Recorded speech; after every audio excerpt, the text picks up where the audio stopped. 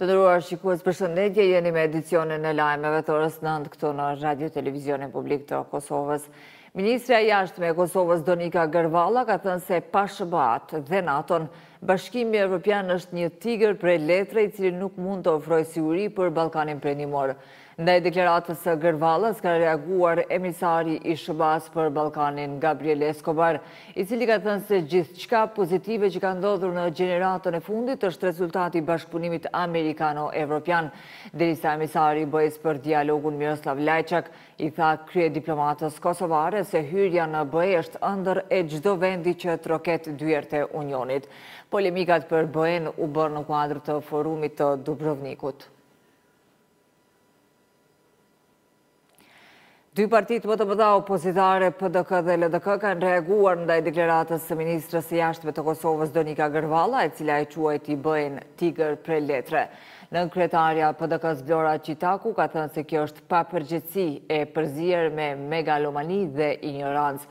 Kurse zëdhënësja e LDK-së, Sibel Halimi ka thënë se deklaratat e Gërvallës tregojnë se ajo është zhytur në pikëpamje iluzive të një bote paralele, duke aluduar se BE u dashka t'i japë siguri Kosovës dhe eventualisht të hyjë në luftë për të.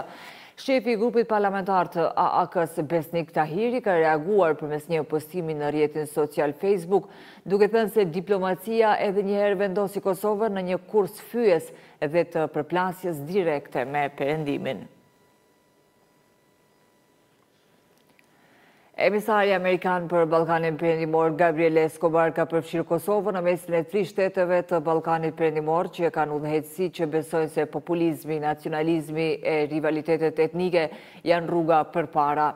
Në kuadër të Forumit të Dubrovnikut, Escobar ka ndarë gjashtë shtetet e Ballkanit Perëndimor në dy rrugë, ato që janë në NATO dhe që janë kontribuuese në stabilitetin rajonal dhe të tjera që përballen me sfida të veta. Dallimet boshte janë që shtetet që janë në NATO dhe që kanë pasur zhvillimet më të mëdha janë ato që kanë tejkaluar sfidat e rivaliteteve etnike.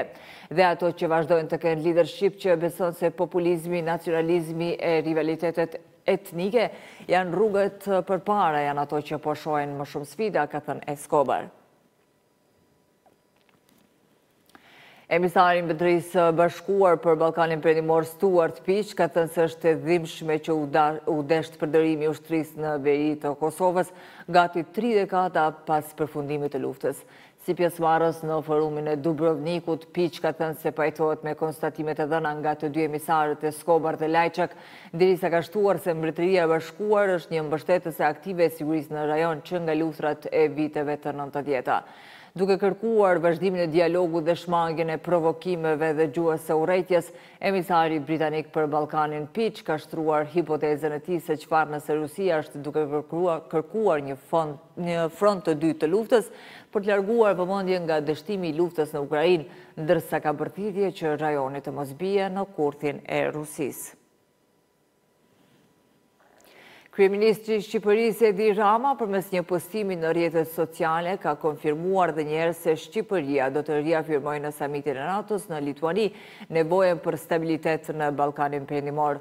Rama ka shkruar se Shqipëria do të paraqesë vullnetin e saj për t'u angazhuar më tej dhe nëse është e nevojshme me forca shtesë. Samiti i NATO-s për vitin dy mijë e njëzet e tre do të mbahet me datën njëmbëdhjetë dhe dymbëdhjetë korrik në kryeqytetin e Lituanisë, Vilnius. Për Ballkanin Perëndimor dhe të ardhmen e këtij rajoni pritet që të diskutohet edhe në një takim tjetër që do të mbahet në muajin tetor në kryeqytetin e Shqipërisë në Tiranë. Në kuadër të procesit të Berlinit pritet që të mbahet një samit tjetër që do të mbledhë liderët e vendeve të Ballkanit, ku nuk dihet nëse edhe Kosova do të marrë pjesë në të.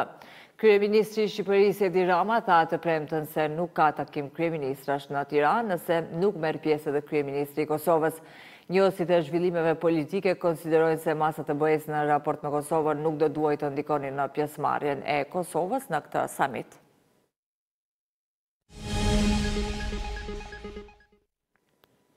Kryeministri i Kosovës Albin Kurti priti në takim profesorin e Universitetit Shtetëror të Ajovas, Dr. Curtis Youngs. Në takim, siç informoi zyra e Kryeministrit, u bisedua për avancimin e mëtejmë të bashkëpunimit akademik dhe profesional ndërmjet Ajovas dhe Kosovës për zhvillimin e sektorit të bujqësisë dhe blegtorisë, duke u bazuar në praktikat më të mira ndërkombëtare.